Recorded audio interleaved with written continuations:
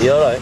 Yeah. So you're looking forward to Hyde Park, bro? I am indeed, mate. I am indeed. Yeah? A bit nervous, but so be it.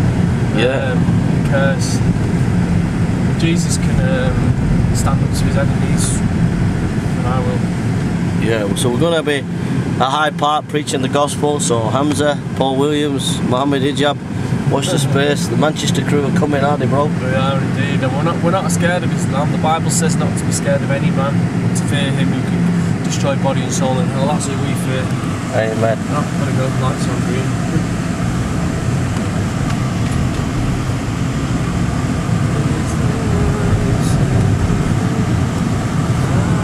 Amen, bro.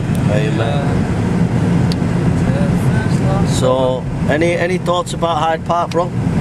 Yeah, I think we. Um, I think it's good that this is our last visit until the new year, well, until next year, and it's like a final.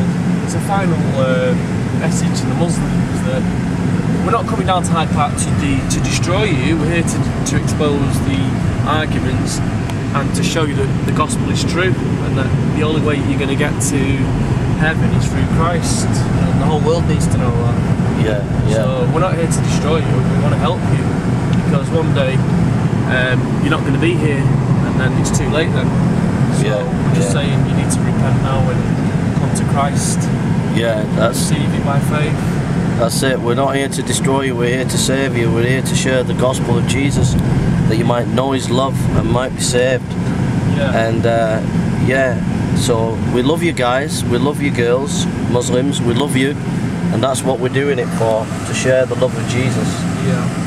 And, it- and it's God's will that none should perish. Yeah, You know, we're sent to go out and to speak to the lost people.